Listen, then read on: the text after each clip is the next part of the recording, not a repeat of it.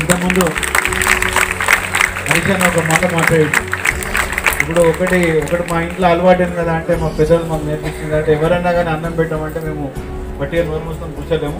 తప్పకుండా పోయినసారి ఎన్నికల ఎన్నికల కన్నా ముందు దాంట్లో పెట్టిన ఎన్నికలు ఉన్నాయి కాబట్టి పోయిన సంవత్సరం నేను వాళ్ళకి ఏం ప్రొవైడ్ చేయలేకపోయినా. ఎందుకంటే ఎన్నికల వాళ్ళు ఉంటుంది కాబట్టి చేయలేకపోయినా. ఇప్పుడే కాదు మళ్ళీ ఎన్నికలు వచ్చేదాకా తప్పకుండా జూనియర్ కాలేజ్ పిల్లలకు డిగ్రీ కాలేజ్ పిల్లలకు మధ్యాహ్న భోజనం అనేది తప్పకుండా పెడతా. తప్పకుండా నా తరఫు నుంచి వెళ్ళి వాళ్ళకి ప్రొవైడ్ చేస్తా అని చెప్పి నేను తెలియజేసుకుంటున్నాను ఎందుకంటే నాకు నా అనుభవంతో నేను చెప్తున్నా ఎప్పుడైతే మీ మధ్యాహ్నం భోజనం పెట్టిన స్టూడెంట్స్ అందరూ కూడా వాళ్ళందరూ కూడా మంచి చదువుకొని మంచి మార్క్స్లో అవుతున్నాయి.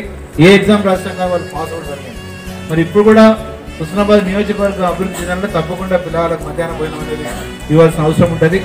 పోయినసారి అన్న దసరా నవరాత్రులు అడిగిండు. అప్పుడు జగదాంబ పలికిందన్న తప్పకుండా పెడతా అన్న.